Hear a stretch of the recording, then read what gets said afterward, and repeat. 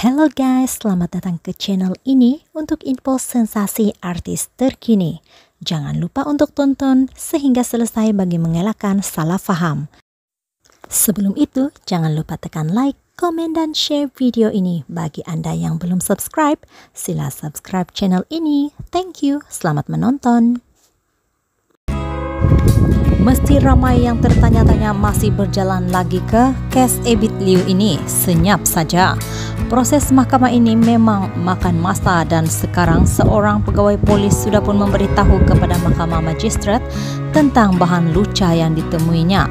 Hari ini pegawai itu menyatakan dia menjumpai sebanyak 90 gambar dipercayai unsur luca. Semua ini ditemui di dalam telefon bimbit pendakwa Ebit Irawan Ibrahim Liu. Pegawai Juru Analisis Unit Siasatan Jenayah Komputer Forensik Polis Diraja Malaysia berkata beliau menganalisa data itu kemudian ia disimpan di dalam sebuah pemacu kilat dan hasil analisinya analisanya pada 10 Mac 2022 menemukan gambar itu serta tiga rakaman video yang turut berunsur luca. Setelah fail dibuka, saya mendap saya mengambil masa lebih kurang dua hari untuk meneliti dan menganalisa data itu supaya dapat mengeluarkan data yang diperlukan mengikut permohonan dalam borang analisa yang disediakan pegawai penyiasat.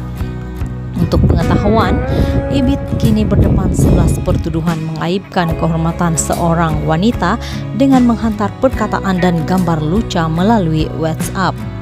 Pertuduhan ini disiasat mengikut 509 Kanun Keseksaan dan jika bersalah boleh dihukum maksimum penjara 5 tahun atau denda. Sekian info, terima kasih.